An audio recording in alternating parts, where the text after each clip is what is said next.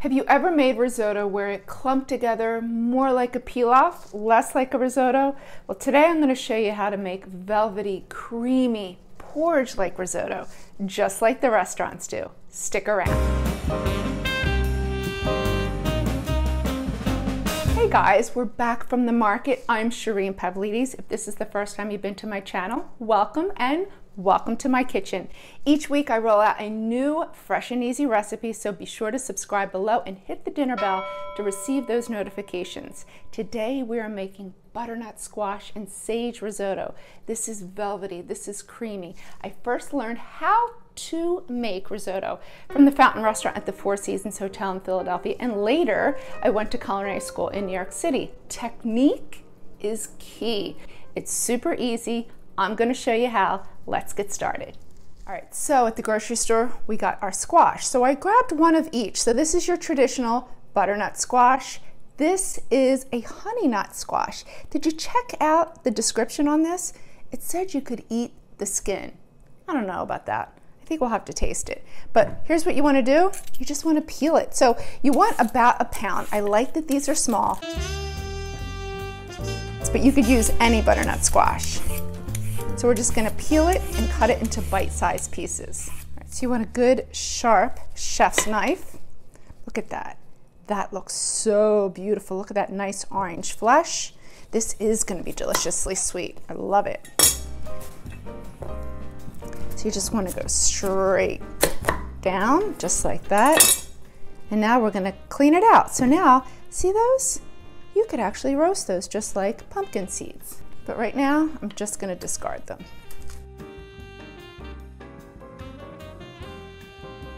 I heated my oven to 400 degrees, so I wanna roast this butternut squash because I want that caramelization. That's gonna add great flavor to this risotto.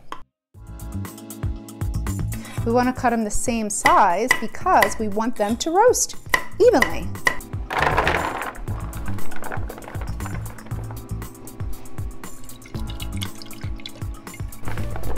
So we're just gonna toss the squash with the oil. So I'm using canola oil because it's a neutral flavor, high smoke point, which is ideal for roasting since we're gonna roast at a high temperature.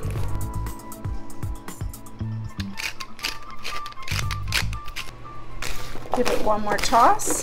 Into the oven it goes until we're gonna prep our shallots and our garlic and our sage. I like using shallots simply because I think that the flavor is a little more refined and delicate. It's sweeter.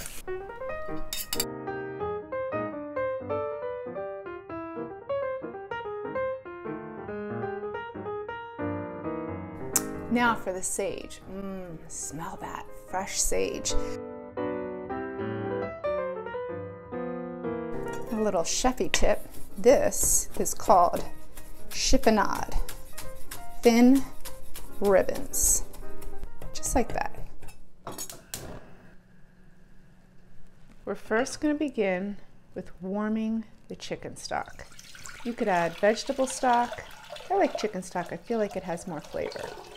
So we're going to put this on the back burner. It's going to melt the butter,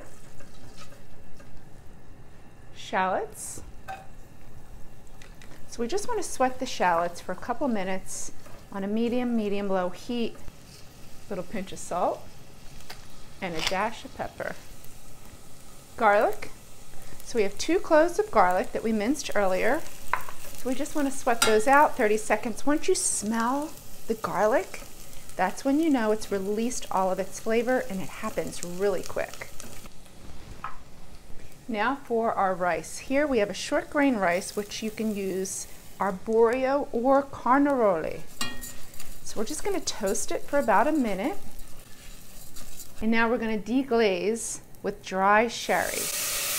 This is gonna add tremendous flavor. Our sage. Now we're just gonna ladle our chicken stock a little at a time.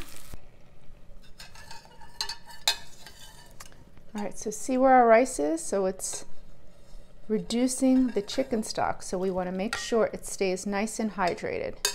So about one to two ladles, a little at a time, and then we'll just keep stirring. By having the chicken stock on the back burner, it keeps it nice and warm so it allows each time we add that chicken stock, we don't have to wait for the temperature to come back up. It continues cooking right away.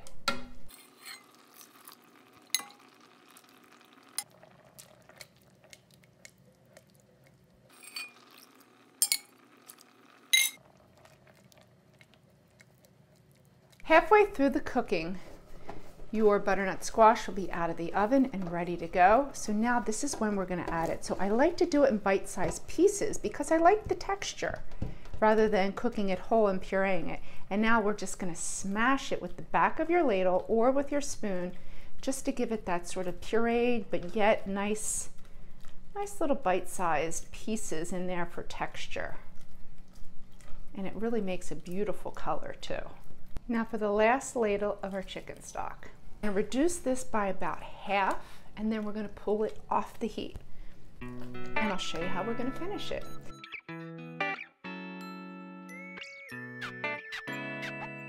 Parmigiano Reggiano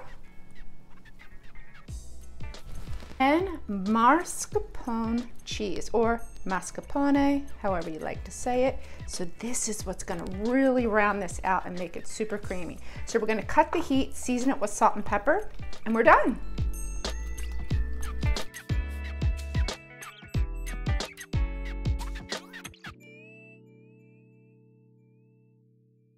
So I included the recipe down in the description and I give you all the measurements. All right, so now we're gonna serve immediately.